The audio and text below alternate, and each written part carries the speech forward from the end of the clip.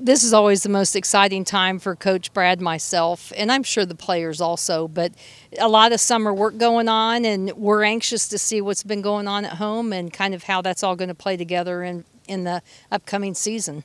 I felt like I was a freshman yesterday, and now here we are in my last season, which is um, sad, but it's going to be a great season. So I really look forward to it. You know, I've been lucky enough to play here at the University of Cincinnati since a freshman, so I've had that growth, I've had that maturity, um, both on and off the golf course. So it'll be just fun putting it all together for one last year and being able to kind of teach the underclassmen what I've had to learn along the way as well.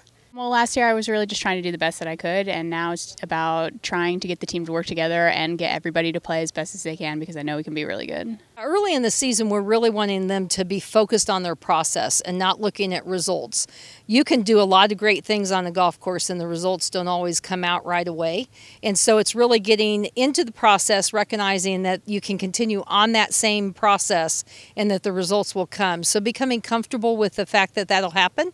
Um, so we're really looking for that, and we're looking for just uh, continuing to build and grow the shot selections that they have and, and looking at tournaments as to what shots we're needing and where we can go and get some work done on those. Obviously, I think all of us are trying to decrease our scoring average. Um, you'd hear that from any player on the team.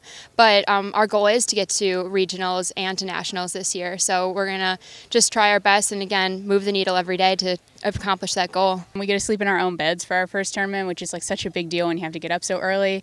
Um, and it's awesome having all of our friends from school and my family come out and just support you. I mean, it's so great. You know, not often do our family and friends get a chance to come out and watch the girls play. So this is an opportunity for anyone who wants to come out and see what our program is doing. It's a chance for them to come out and uh, have a chance to see what we're up to and how the girls are competing and support them. And we can't wait for that.